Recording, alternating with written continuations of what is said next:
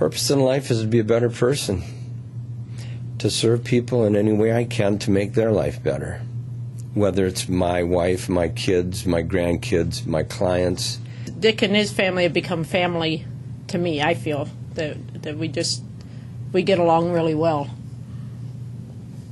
And I've helped Sean redecorate her house Yes, almost. we've been remodeling for a year, so he comes over once in a while. I bring him to my house to show him the um, how far it's gone, and then he gives us suggestions on what we should do next. Well, one day he called and told the office, "Don't don't have Christine come in because I'm I just feel horrible and I made a big mess and don't come." Well, then they called me back and said, "Well, maybe you should go check on him." So I did, and uh, got in, and he was surprised to see me. He says, "Oh, I told them I didn't need anybody." Well, we ended up talking and found out that basically he was just very angry with some things that had gone on at his doctor's office that day. And um, as we talked, finally, he says, Well, you're here. Maybe we should have supper, huh?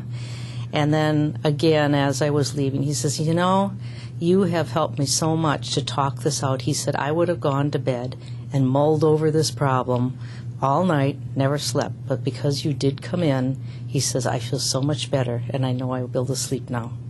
Every time I go to your house, I learn something. We're always learning something. Well, I'm not sure that's altogether good. I call her my Scrabble playing buddy, buddy, because she says I hear that it keeps me sharp, and that's one of my favorite games. And you know, the other day I think she's 95 now. I don't know how much longer I'll have her, but I I treasure every Wednesday that I get to go see her. And that's that's one client that I do tell the staff I don't want to switch if they need help, because you know I've grown really attached to her. I'd say we're very warm friends, and I'd say that Sean is so helpful from a friendly point of view that it makes an enormous amount of difference to me. they have um,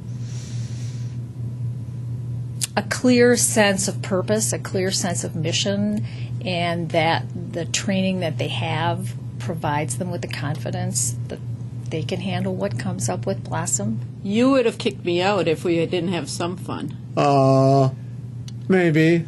Probably. No, we have a lot of fun.